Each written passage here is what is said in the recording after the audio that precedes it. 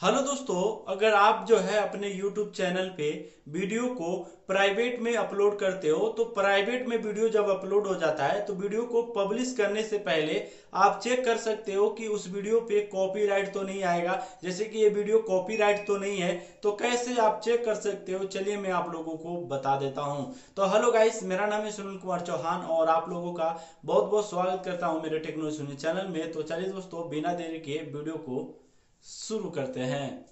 तो आपको जो है क्रोम ब्राउज़र को ओपन कर लेना है। चलिए यहाँ पे मैं क्रोम को ओपन कर लेता हूँ। आप सर्च में भी जो है यूट्यूब लिख सकते हैं। चलिए मैं लिख देता हूँ।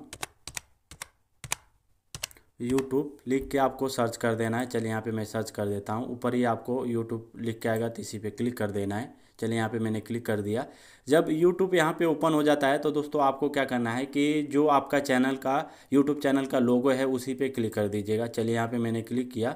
दोस्तों यूट्यूब स्टूडियो ओपन करना है। तो यहाँ पे मैंने अपने चैनल का लोगो पे क्लिक किया। यहाँ पे यूट्यूब स्टूडियो का ऑप्शन आ गया। चलिए यहाँ पे मैंने क्लिक कर दिया। जब आपका यूट्यूब चैनल ओपन हो जाता है तो यहाँ पे कॉन्टेंट पे क्लिक कर दीजिएगा। चलिए यहाँ पे मैंने क्लिक कर दिया। अब दोस्तों, यहाँ पे एक चीज़ आपको ध्यान देने की ज़रूरत है, जैसे कि जिस वीडियो को आप पब्लिश करना चाहते हैं, उस वीडियो को प्राइवेट कर रखे हैं तो उसको क्या करना है? उस वीडियो को एडिटिंग पे जो है क्लिक कर लेना है। जैसे कि उस वीडियो को ले लेना है। यहाँ पर मैंने एडिटिंग पे क्लिक कर दिया।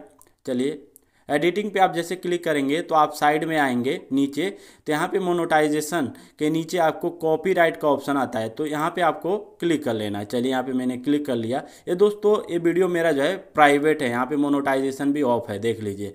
अब दोस्तों, इसके नीचे लिख के आ रहा है no copyright content was found in your video तो दोस्तों, ये वीडियो जो है कॉपीराइट नहीं है। इसमें किसी का भी कॉन्टेक्ट जो है चोरी नहीं किया गया है। किसी का भी वीडियो जो है चोरी करके नहीं डाला गया है। ये मेरा खुद का वीडियो है और जब मैं इस वीडियो को जैसे कि पब्लिश करूँगा तो इस वीडियो पे कॉपीराइट नहीं आएगा। तो जो भी आप वीडियो को प्राइवेट कर रखे हैं, उस वीडियो को पब्लिश करने से पहले आप कॉपीराइट चेक कर लीजिएगा कि इस वीडियो पे कॉपीराइट आएगा कि नहीं। तो इस तरीके से आप मालूम कर सकते हो आप।